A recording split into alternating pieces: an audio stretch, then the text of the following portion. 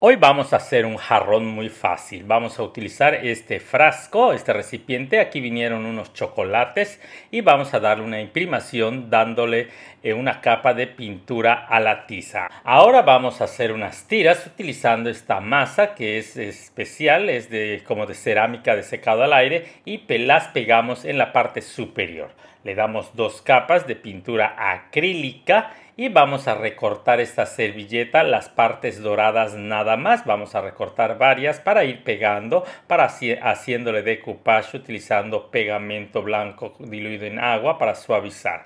Luego vamos a pintar en dorado estas líneas que tenemos por aquí y también por supuesto la parte superior Así, de esta manera queda un bonito jarrón estilo antiguo y vamos a terminar aplicando barniz acrílico. Miren qué belleza, nuestra sala quedará bellamente decorada.